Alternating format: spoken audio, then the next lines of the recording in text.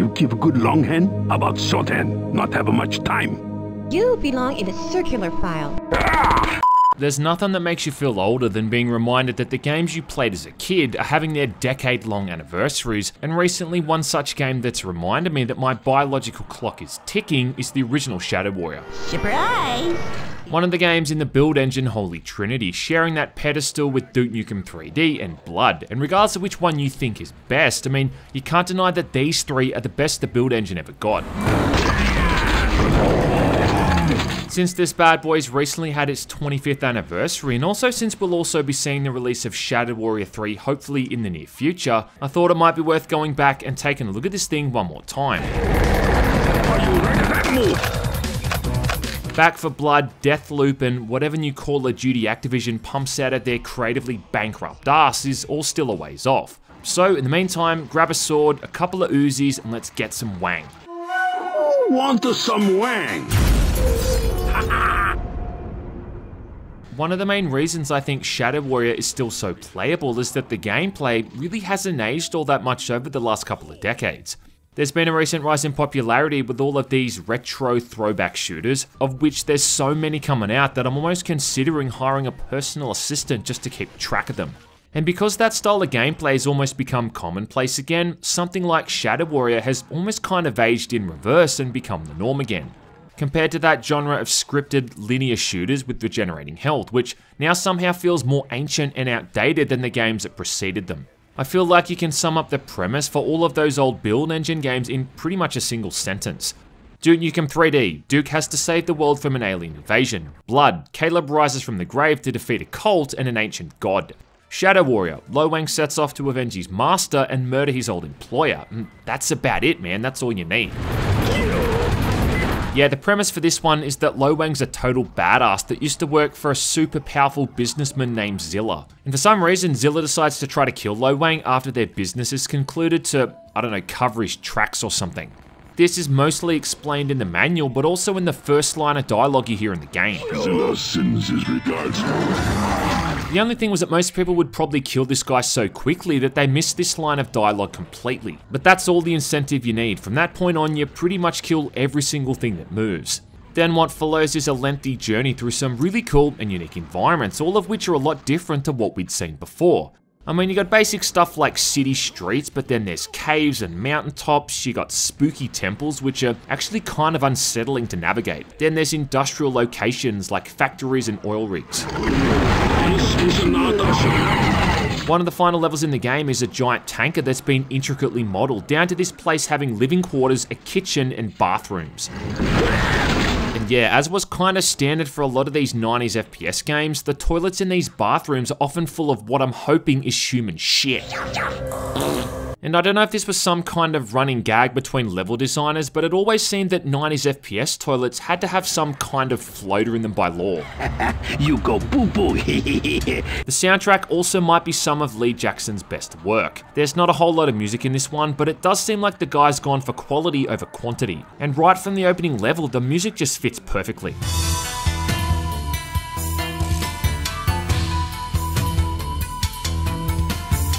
Lo Wang was also a pretty unique character considering his build engine bros. I mean, you got Duke Nukem, right? The juiced up, ass kicking ladies man. Caleb is the stoic, morally ambiguous undead gunslinger, and then Lo Wang is kinda like the horny old peeping Tom, hanging around the ladies' locker room at the gym and trying to get a quick perv in. Hey, Chicky, you tighten my nuts. Hmm? You're too short for me. How about you moon me? I don't The voice work for this guy too is just hilarious, and I've always been impressed at how they managed to come up with so many random one-liners for him during combat. And they're often unique to whatever weapon you're using. Cut someone in half with the sword and he'll say something completely different to what he'd say if they caught one of your sticky bombs with their torso. Oh, sprint personality. Sticky bomb, meet the Mrs. Stupid. Who put these here? Ow! Outside of all of that, this is just good old fashioned 90s shooting at its finest. The kind of stuff that'll make your palms sweaty, knees weak, and arms heavy. Despite Duke Nukem and Blood all coming out around roughly the same time period, it is also kind of amazing how these developers managed to make sure that there wasn't an overlap in the weapons across each title. And really the biggest strength for all of these three games was their arsenal. I like big weapons. When it comes to Shadow Warrior, what's also kind of interesting is that unlike, you know, every single other first person shooter ever made, your melee weapons weren't useless, in fact, they're actually kind of effective. The fist, for instance, will finish off some of the basic enemies really quickly, even knocking them backwards. The sword's also going to finish off most enemies in a couple of hits, and with the basic ninjas, you even get this really unique animation of them getting sliced into pieces. Oh, look, you're coming apart. In a neat touch too, whenever you'd use the melee weapons, you could also be covered in blood, and jumping into nearby pools of water would even wash this stuff off. Gotta say, man, that this just blew my tiny mind at the time, and I remember thinking it was one of the coolest things I'd ever seen, aside from boobs and bottle rockets. Filling out the rest of Lo Wang's arsenal, you've got shurikens. Yeah, I love the shuriken. Again, a weapon which was surprisingly effective. And arguably one of the better shotguns of all time with the right gun. Now this thing could fire either a single shell at a time or four at once, which made it absolutely brutal at close range. The way this thing would kick upwards with each shot is also awesome, and it's the stuff that boners are made of. Wouldn't be an Asian-inspired game without an Uzi, and in a pretty cool touch, you can also dual-wield these things. This is probably the weapon you're going to be using the most, also because it's the one that the enemies seem to use as well. Any good first-person shooter worth its salt's got a utilitarian automatic weapon like this, so Shadow Warrior's definitely got that aspect covered. From this point on though is when you're going to see some serious shit, and a lot of these weapons are likely to hurt you as much as they are the enemies. As you'd kind of expect almost by like tradition at this point, the fifth weapon slot is where the rocket launcher goes, and this thing also comes with two alternate ammo types. You got heat-seeking missiles, and then also the option to fire out a goddamn nuke. And I challenge anyone to find a fault in a weapon that lets you launch out small nuclear missiles. I dare you.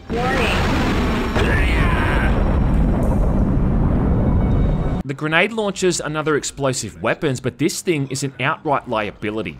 The reason I say that is because the splash damage range for this thing kind of feels like it's almost too far, meaning you're going to take splash damage from the explosions when you'd think you'd be out of range.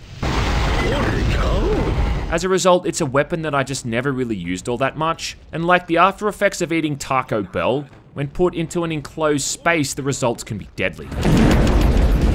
It's also the same thing with the sticky bomb. Now, I do like the concept of this. Oh, sticky bomb like you. You throw out this spiked ball that latches onto enemies and then explodes, but it just takes way too long before it blows up to be effective. Not to mention, it doesn't really do all that much damage either. The last few weapons, though, are awesome. Firstly, you've got the railgun, and I might be wrong here, but I do think this is one of, if not the first times a railgun was ever seen in a first-person shooter. I mean, I know there was a railgun in Quake 2, but that's the first time I can remember seeing it aside from Shadow Warrior, which beat it to the punch, I think, by like a matter of months. The railgun fires out these super powered shots that instantly gibs an enemy when they're killed, which is something that never stops being satisfying. Not to mention it makes this really soothing humming sound while it's equipped, which kind of makes the sound of a deadly purring kitten.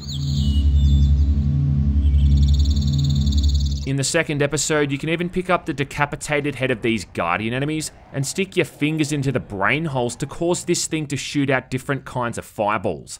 And still, I don't think there's ever been any other game where you use a demon's head as a weapon and alternate between attack modes by finger fucking them.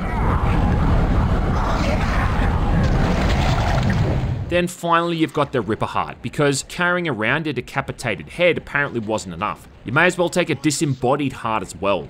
This thing though is actually a bit of an underrated weapon that spawns in a Lo Wang Ghost, armed with a fast firing railgun that helps you out by killing nearby enemies. You have no honor. The only thing that I've never really bothered using all that much were all these ninja gadgets, being a Shadow Warrior that comes with all the tricks of the trade like flash and gas bombs and caltrops, but I just could never put these things to that much good use. Who put these here? Ow! The only inventory item you really need anyway is the medkit, because as you'd expect for a shooter from the 1990s, Shadow Warrior is a really tough game. And I do think that it's probably the most challenging one out of all these other main build engine titles. In my opinion, Duke Nukem 3D is a pretty easy game for the most part, Blood, I think, is definitely harder, but that's only because of these one-off difficulty spikes in certain levels. Shadow Warrior, on the other hand, I think is just challenging right from the get-go, and it never really stops crushing the player's balls. Even though I've finished this thing more times than I've seen naked photos of your mum, I still go back to replay it and get a humble reminder of how unforgiving and relentless this whole thing can be. The biggest thing here though with Shadow Warrior I think is that compared to these other games, the deaths in this just often seem to come out of nowhere. A lot of the time in Duke and Blood, you can often tell what it was that actually killed you and identify where you went wrong. Whereas a lot of the time in Shadow Warrior, I just found myself dumbfounded as to what actually got me. Like this bit here, I have no idea what it is that killed me. And I've watched this clip a dozen times and I still can't figure out what it was. I compare this game to Quake in the way that enemies really waste no time in trying to kill you. It always felt that in Duke and Blood you had like a buffer zone of like a couple of seconds before enemies would start attacking you. In Shadow Warrior though, enemies often seem to advance towards the player, and it's like they're aware of you before you are of them. Does that make sense? It's also not helping that some of these enemies are just complete pricks. Every build engine game has at least one really annoying enemy type. In Duke Nukem 3D, it's the sentry drones that chase after you and blow up. In Blood, I'd say it's maybe the Hellhounds that can light you on fire. Shadow Warrior though has like half a dozen of these. The basic ninjas aren't annoying by themselves, it's just more the amount of them you often have to deal with. And the fact they've all got Uzis which makes them hit scanners. When you got half a dozen of these guys shooting at you at once, I mean, just watch the way your health disappears. There's tougher variants that can launch out heat-seeking missiles and one that's pretty much invisible, able to shoot out fireballs that can kill you in pretty much a single hit. And because none of these guys have any concept of self-preservation, even outright killing themselves at times out of sheer boredom, it's not uncommon for them to use these attacks at point-blank range. Which can have you staring at that death screen before you've even realized you've been killed.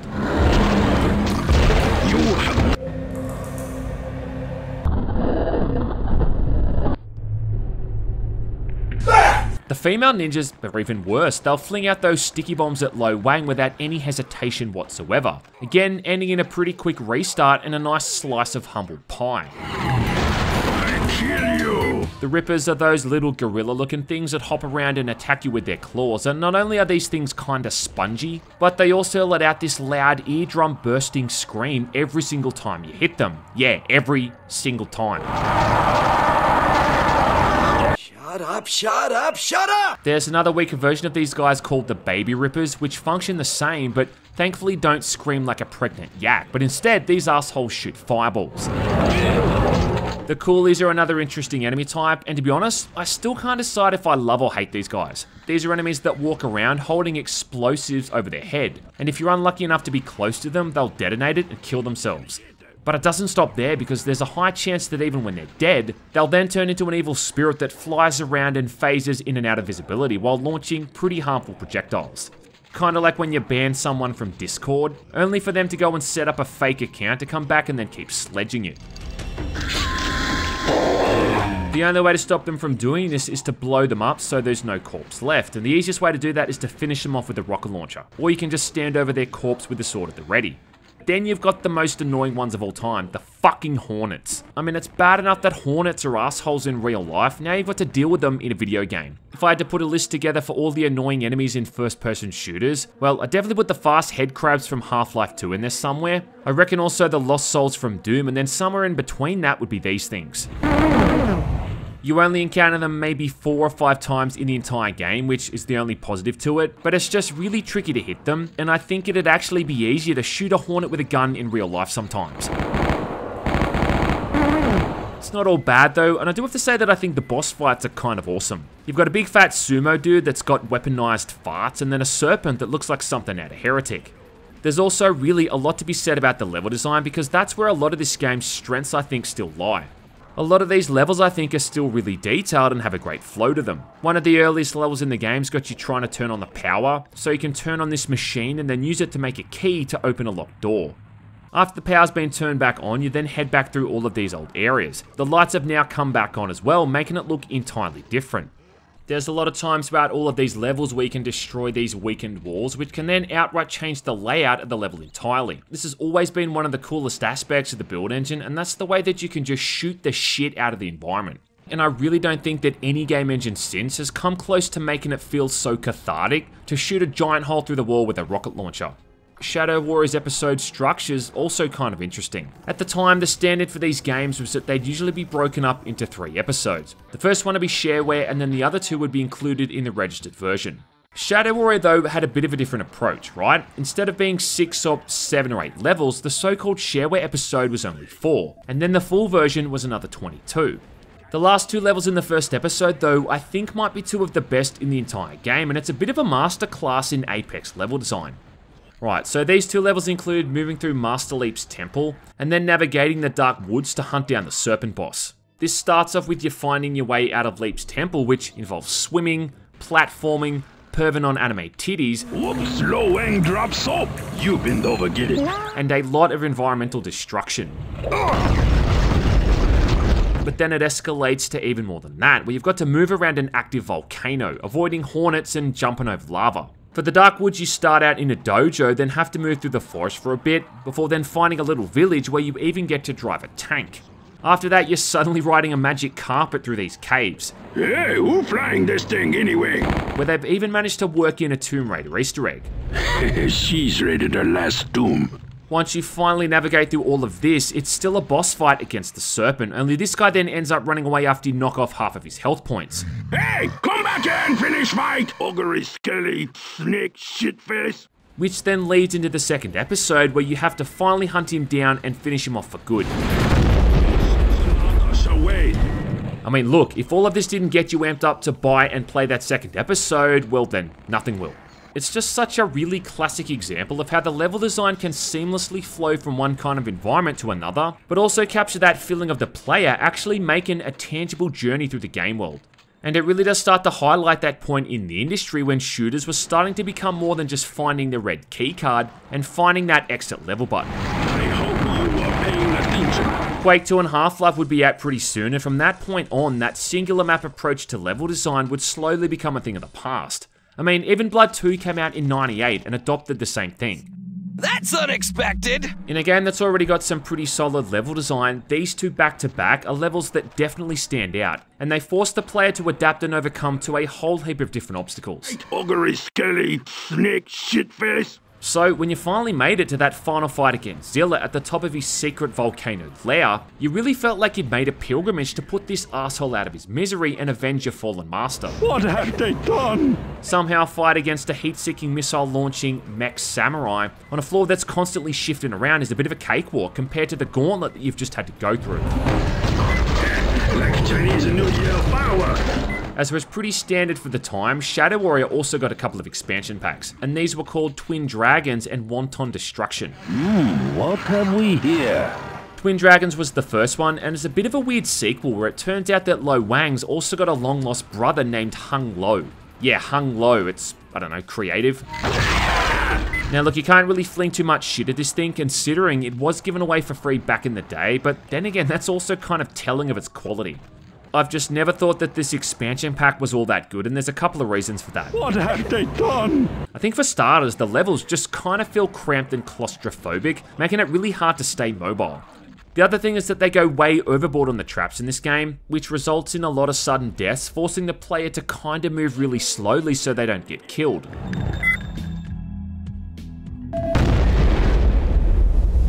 There's no new weapons and there's no new enemies, and they just use the same music tracks, and in some instances it kind of feels like they've chosen the wrong music track for the level, in the sense that the melody doesn't really fit tonally with the mood of the level itself. It'd be like playing thrash metal in the reception area at a retirement home. I mean, it'd sound out of place, wouldn't it?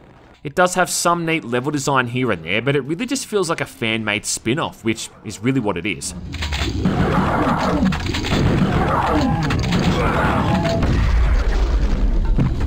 The other one, Wanton Destruction though, is definitely a whole lot better. There's still no new enemy types, but they have replaced the sprites for the basic ninjas and some of the other enemies. So, I don't know, at least some effort's been put into separating it from the base game.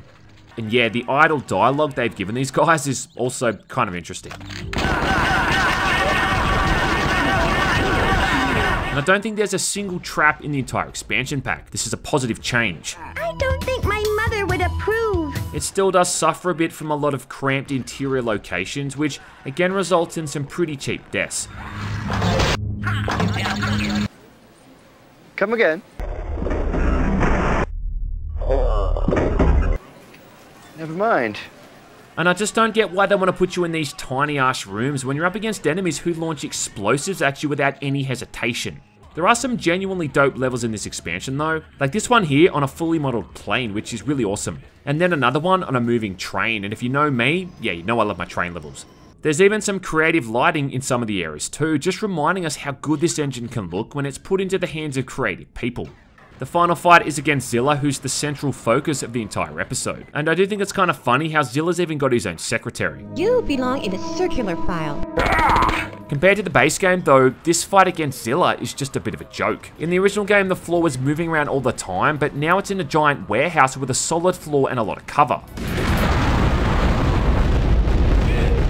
but it does have the best ending in the entire Shadow Warrior franchise to date. Because it turns out this whole time, Lo Wang's been stalked by some horny old lady that wants to jump his bones.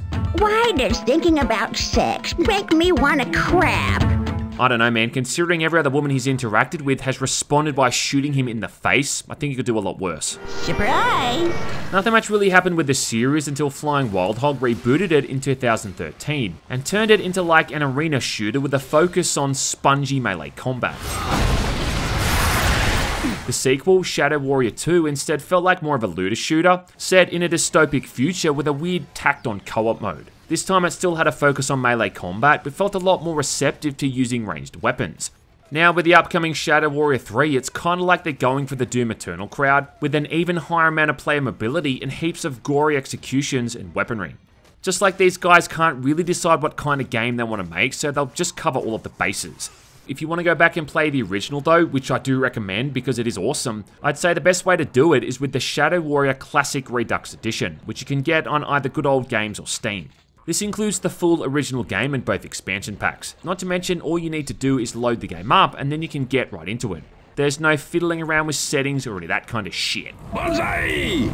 Still mostly fun to play in 2021, and it's a game that's always going to give you a good reaming. And you know what? At the end of the day, you can never have too much wang. Also, before I go, it's a probably a good time to mention that I am now sponsored by SteelSeries. These guys make some of the best gaming peripherals I've ever used with their keyboards, mouses, mouse pads, and headphones. And whether or not you're playing a game from 20 months ago or 20 years, you're still going to want the best possible gear to get the job done. So to get 12% off your next order, be sure to use the code GMAN at checkout. And speaking of checking out, thanks for watching. You are weak as a baby fart. Go live in fear.